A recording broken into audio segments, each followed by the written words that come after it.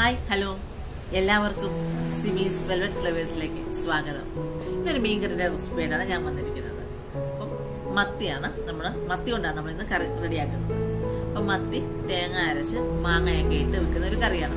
അപ്പം എരിക്കറി നമ്മൾ ഇന്ന് കൂട്ടി മണക്കുമ്പോൾ ഒരു വെറൈറ്റി ആയിട്ട് നമുക്ക് ഇതൊന്ന് ട്രൈ ചെയ്യാവുന്നതാണ്. അപ്പോൾ സാധാരണ നമ്മൾ വീടുകളിൽ റെഡിയാക്കുന്നതാണ്.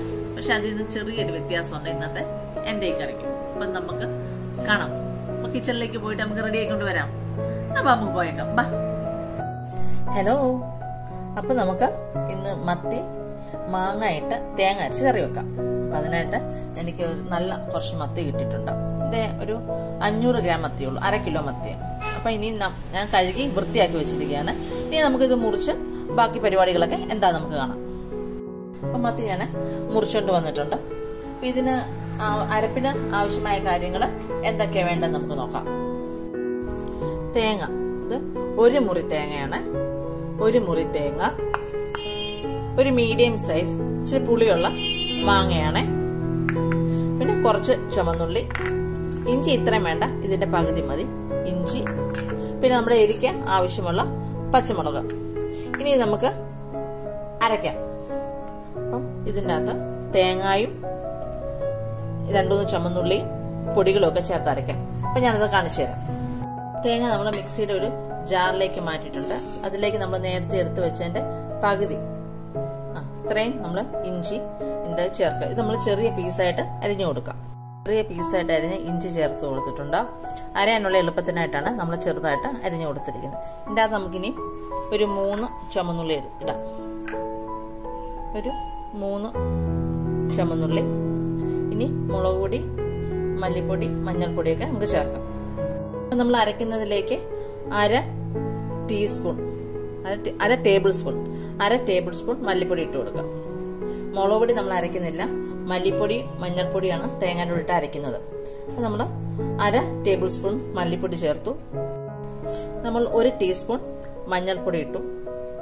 നമുക്ക് ഉപ്പ് കുറച്ച് ഉപ്പും കുറച്ച് വെള്ളം ഒഴിച്ച് നല്ല പേസ്റ്റ് പരുവത്തിൽ നമുക്ക് അരച്ചെടുക്കാം. നമ്മൾ കുറച്ച് വെള്ളമേ ചേർത്തിട്ടുള്ളൂ. ഇത് നമുക്കിനി നല്ല പേസ്റ്റ് ആയിട്ട് അരച്ചുകൊണ്ട് വരാം.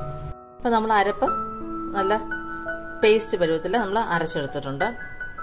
ഇനി നമ്മുടെ മീനിലേക്ക് ആവശ്യമുള്ള സാധനങ്ങൾ നമുക്ക് ചേർക്കാം. ഒരു പച്ചമുളക്. ഇതൊരു ആറ് പച്ചമുളക് നടുകയും മുറിച്ചത്. ചുമന്നുള്ളി. ഇതൊരു ആറ് ചുമന്നുള്ളി. തീരെ ചെറുതായിട്ടല്ല. ഇച്ചിരി കട്ടിയായിട്ട് തന്നെ മുറിച്ചിട്ടത്. പിന്നെ നമ്മുടെ മെയിൻ ഇൻഗ്രീഡിയന്റ് മാങ്ങ. അപ്പോൾ നമ്മുടെ പുളിയുടെ അളവനുസരിച്ച് നമുക്ക് മാങ്ങ ചേർക്കാം. വീട്ടിൽ നമുക്ക് നല്ല പുളി ആവശ്യമുണ്ടെങ്കിൽ കൂടുതൽ മാങ്ങ ചേർക്കാം. പുളി കുറച്ച് മതിയെങ്കിൽ നമുക്കതിന് കുറച്ച് മാങ്ങ ചേർത്താൽ മതി. പിന്നെ നമുക്ക് ഇച്ചിരി നിറം കിട്ടാൻ വേണ്ടി അര ടീസ്പൂൺ മുളക് പൊടി. നമ്മൾ കാശ്മീരി മുളക് പൊടിയാണ് ഉപയോഗിക്കുന്നത്. അര ടീസ്പൂൺ ഇനി നമ്മൾ ഇതിലേക്ക് നമ്മൾ അരച്ചു വെച്ചിരിക്കുന്ന അരപ്പ് നമുക്ക് ചേർത്ത് കൊടുക്കാം. ഇനിയും കുറച്ച് വെള്ളം നമുക്ക് ജാറിന്റെ അകത്തോട്ട് ഒഴിച്ചിട്ട് അതുകൂടെ നമുക്ക് ചേർത്ത് പാകത്തിനാക്കി എടുക്കാം പാകത്തിന് നമുക്ക് ഉപ്പ് ഇനി കുറച്ച് കറിവേപ്പിലയും കൂടി ഇട്ട് കൊടുക്കാം. കുറച്ച് കറിവേപ്പില. ഇനി നമുക്ക് നന്നായിട്ടൊന്ന് മിക്സ് ചെയ്ത് വെക്കാം. നമ്മൾ നന്നായിട്ട് എല്ലാം മിക്സ് ചെയ്ത് വെച്ചിട്ടുണ്ട്. ഈ മുളക് എന്നുള്ളത് ഓപ്ഷണലാണ് ഞാൻ മുളക് ചേർത്ത് ഇതൊരു ഓറഞ്ച് നിറത്തിലൊന്ന് ഇരിക്കാൻ വേണ്ടിയാണ്. ഇച്ചിരി നിറം ഒന്ന് മാറിയിരിക്കാൻ വേണ്ടിയാണ്. അപ്പം അങ്ങനെ വേണ്ട എങ്കിൽ നമുക്ക് മുളക് ചേർക്കണ്ട. നമ്മളിന്റെ അത് പുളിയൊന്നും ചേർക്കുന്നില്ല. പിന്നെ നമുക്കിനി തീ കത്തിച്ചൊന്ന് പാകമാക്കി എടുക്കാം നമ്മുടെ കറി തിളച്ചൊന്ന് നോക്കാം. തിളച്ച് വരുന്നുണ്ട്. തിളയ്ക്കാൻ തുടങ്ങിയിട്ടുണ്ട്. നമുക്കൊന്ന് ജസ്റ്റ് ഒന്ന് നനക്കി ഒന്ന് ഇളക്കി ഒന്ന് കൊടുക്കാം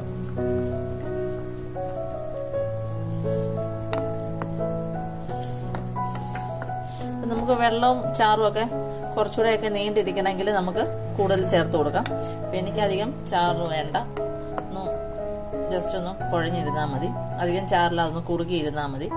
അപ്പം ഞാനത് അധികം വെച്ചിട്ടില്ല. അപ്പം നമ്മുടെ മീനൊക്കെ ഒന്ന് വെന്ത് പാകമാകട്ടെ. നമ്മുടെ മീൻകറി നന്നായിട്ട് തിളച്ചിട്ടുണ്ട്. നമുക്ക് ഇനി തീ മീഡിയത്തിലേക്ക് മാറ്റി വെക്കാം. മീഡിയത്തെ കിടന്ന് നമ്മുടെ മാങ്ങായും മീനും എല്ലാം നന്നായിട്ടൊന്ന് വെന്ത് വേകട്ടെ. നമുക്ക് മീൻകറി പാകമായി നോക്കാം. നമ്മുടെ മീൻകറി നന്നായിട്ട് തിളച്ച് പാകമായിട്ടുണ്ട്. നമുക്ക് ഈ സമയത്ത് ഉപ്പൊക്കെ ഉണ്ടോ എന്ന് നോക്കാം. നോക്കട്ടെ.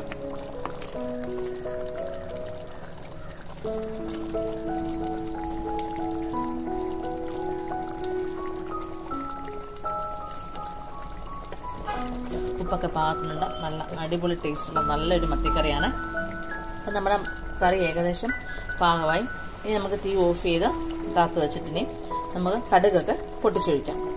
നമുക്ക് ഒലത്ത് ഒലത്തുന്നതിനായി ചീൻചട്ടി നമുക്കിനി അടുപ്പേ വെക്കാം. അപ്പം മീൻകറിക്ക് ഒലത്തുന്നതിനായിട്ട് നമ്മൾ ഒരു ചീനച്ചട്ടി ചൂടായി അടുപ്പ വെച്ച് ചൂടായി. അല്ലെങ്കിൽ നമ്മൾ ഒരു ടേബിൾ സ്പൂൺ എണ്ണ ഒഴിച്ചെടുത്തിട്ടുണ്ട് കൊടുത്തിട്ടുണ്ട്. അത് എണ്ണയൊന്ന് ചൂടായി വരട്ടെ. എണ്ണ നല്ലതായിട്ട് ചൂടായി. അതിലേക്ക് നമ്മൾ കുറച്ച് കടുക് ഇട്ട് കൊടുക്കുക കടുകൊക്കെ പൊട്ടുന്നുണ്ട് പൊട്ടി വരട്ടെ. അതിലേക്ക് നമ്മൾ കുറച്ച് ഉലുവ.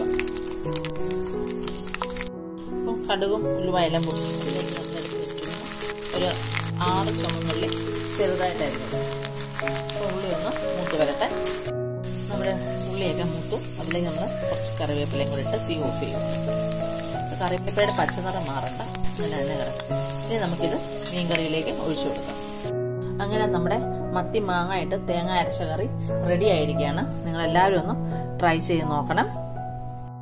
നല്ല അടിപൊളിയായിട്ടുള്ള നമ്മുടെ മത്തിക്കറി മാങ്ങായിട്ട മത്തിക്കറി ഇവിടെ റെഡി ആയിട്ടുണ്ട്. നിങ്ങൾ എല്ലാവരും ഒന്ന് ട്രൈ ചെയ്ത് നോക്കണം.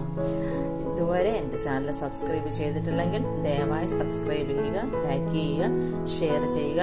എപ്പോഴും പറയുന്ന പോലെ നിങ്ങളുടെ അഭിപ്രായങ്ങൾ കമന്റ് ആയിട്ട് എന്നെ അറിയിക്കുക. അപ്പം നിങ്ങൾ എല്ലാവരും ഒന്ന് ഒന്ന് ട്രൈ ചെയ്ത് നോക്കണം. നല്ല അടിപൊളി ഡിഷാണ് ഓക്കെ താങ്ക്